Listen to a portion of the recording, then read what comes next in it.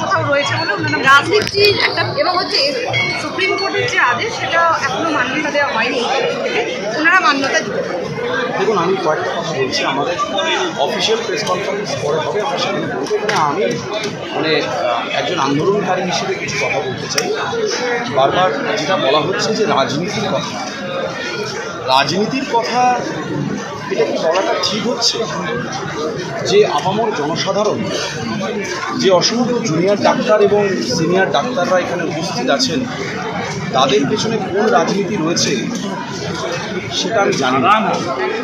তবে যে সাধারণ মানুষটা, যে নিম্নবিত্ত একটি মানুষ আজকে এই আন্দোলনে দাঁড়িয়ে শুধুমাত্র আন্দোলনের অংশ হওয়ার জন্য এই সমস্ত আন্দোলনকারীদের আপনারা সকলেই দেখেছেন, গতকাল থেকে প্রচুর মানুষ, সাধারণ মানুষ কাছে দূরে বিভিন্ন জায়গা থেকে বিভিন্নভাবে আমাদের খাবার, জল বায়ো টয়লেট প্রত্যেকটি জিনিস দিয়ে সাহায্য করছেন এবং পাশে থাকছেন। সেই জায়গায় দাঁড়িয়ে সেই মানুষটিও চেয়েছেন আমাদের জন্য কিছু করার। হয়তো তার সামর্থ্য কম, কিন্তু তার ইচ্ছে প্রবল।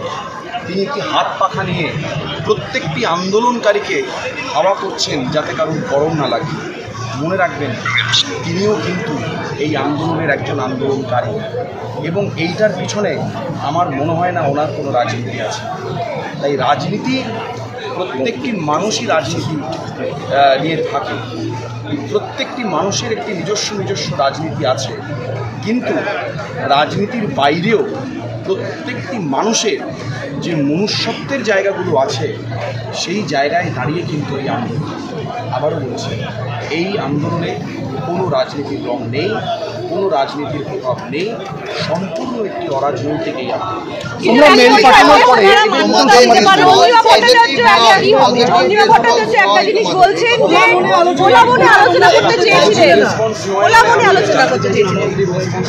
আমরা সত্যি কথা বলতে আলোচনা করতে চেয়েছি এবং আমরা প্রথম থেকেই দাবি জানিয়েছি। যে আমাদের দাবি আছে সেইগুলো নিয়ে আলোচনা করব এবং এখানে ছাব্বিশটি মেডিকেল কলেজ আছে। সেই ছাব্বিশটি মেডিকেল কলেজ তার যারা রিপ্রেজেন্টেটিভ অ্যাটলিস্ট তাদেরকে তো যেতে দিতে হবে। এটা তো কোনো রাজনৈতিক দল নয় যে দশজন গেলাম, দুজন গেলাম, তিনজন গেলাম, চারজন গেলাম, একটা ক্লোজ ডোর মিটিং হলো, সমঝোতা হলো, তা তো নয়। আমরা একটা সমাধান খুঁজতে এসেছি। যে দুর্নীতিগুলো এতদিন ধরে মাথায় বসে আছে, সেই দুর্নীতিগুলোকে দূর করার জন্য একটা সমাধান খুঁজতে চাই। তাই সেই পাঁচ দফা দাবি নিয়ে আমাদের প্রত্যেকটি মেডিকেল কলেজের রিপ্রেজেন্টেটিভরা খুঁজতে চায়।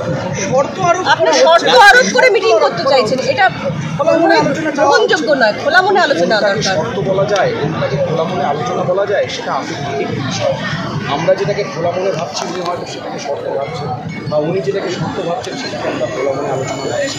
তাই আমাদের যে দাবিগুলো আছে সেগুলো খুব সুস্পষ্ট। আবারও বলছি আমরা যে মেল অ্যাপ্লাই করেছি যদি সেই সমস্ত শর্তগুলো আবারও বলছি শর্তগুলো মেনে নিয়ে যদি আলোচনা হয় দাদা একটু এদিকে ঘুরে ক্যামেরার দিকে। ভোর বেলায় ভোর রাত্রে। তিনটের পরে ভোর তিনটের পরে যাচ্ছে মেল করা হয়েছে সেটাকেও সেটাকেও ঠিকভাবে নেওয়া হয়। দেখুন আমরা তো এরকমভাবে আন্দোলন করতে আসিনি। এই যে নটার সময় আন্দোলন করলাম সাড়ে নটায় ডিনার করে বাড়িতে গিয়ে শুয়ে পড়লাম সেরকমভাবে তো আন্দোলন করতে আসিনি। আমাদের এখানে প্রত্যেকটি জিনিস প্রত্যেকটি বিষয় লক্ষ্য রাখতে হচ্ছে। তাই সবার সাথে আলোচনা করে আবারও বলছি সবার সাথে আলোচনা করে। এখানে যে বিপুল জনসমাবেশ আছে জনসাধারণ আছে সবার সাথে আলোচনা করে কিন্তু আমরা ওই একটা। দেখতে পাচ্ছি না ওখানে নামাও ফাঁকটা দিয়ে দাও এখান থেকে আন্দোলনকে যদি তারা না করে তাহলে তো আর কিছু বলার থাকতে পারে না। তাহলে একটা শান্তিপূর্ণ বিশ্ব সংবাদ। দেওয়া উঠে দাবি নেই।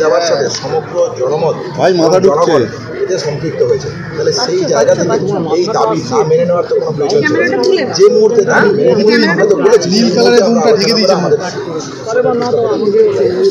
তাহলে এই জায়গাটা এই জায়গাটা তো সমাধানের জন্য একটু নামাও কি করব তাহলে তুমি তো সময় গড়া লাগছে এই এই জায়গাটাতে আমার মনে হয় যে বিকেল পাঁচটার মধ্যেই এই সমাধান শেষ হয়ে যাওয়া উচিত ছিল খোলামুনি আলোচনায় দিকে তো এদিকে ঘুরে যাবে